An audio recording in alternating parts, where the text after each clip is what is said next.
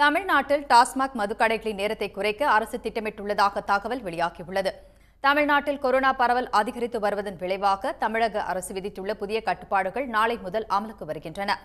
இதையடுத்து கடைகள் வணிக நிறுவனங்கள் நண்பகல் பனிரெண்டு மணி வரை மட்டுமே திறந்திருக்கும் என அறிவிக்கப்பட்டுள்ளது. இந்நிலையில் டாஸ்மாக் மதுக்கடைகளுக்கான நேரத்தையும் குறைக்க அரசு திட்டமிட்டுள்ளதாக தகவல் வெளியாகியுள்ளது. தற்போது நண்பகல் பனிரெண்டு மணி முதல் இரவு ஒன்பது மணி வரை டாஸ்மாக் கடைகள் திறக்கப்படும் நிலையில் காலை எட்டு மணி முதல் நண்பகல் பனிரெண்டு மணி வரை நான்கு மணி நேரமாக டாஸ்மாக் கடை திறப்பு நேரத்தை குறைக்க அரசு திட்டமிட்டுள்ளதாக தெரிகிறது. இதனிடையே கொரோனா பரவல் காரணமாக டாஸ்மாக் கடைகளை முழுமையாக மூட உத்தரவிடக் கோரி தொடரப்பட்ட வழக்கு உயர்நீதிமன்ற மதுரை கிளையில் விசாரணைக்கு வந்தது. அப்போது வழிபாட்டு கூடங்கள் பொது கூட்டங்களுக்கு அனுமதி மறுக்கப்பட்டுள்ள நிலையில் டாஸ்மாக் கடைகளுக்கு கட்டுப்பாடுகள் விதிக்கப்படவில்லை என மனுதாரர் குற்றம் சாட்டினார். எதிர்ப்பு சக்தியை கொல்லும் மது விற்பனையை அனுமதிப்பது ஏன் என நீதிபதிகள் கேள்வி எழுப்பினர். இதுகுறித்து மத்திய மாநில அரசுகள் பதிலளிக்க உத்தரவிட்டு வழக்கை ஜூன் நான்காம் தேதிக்கு நீதிபதிகள் ஒத்திவைத்தனர்.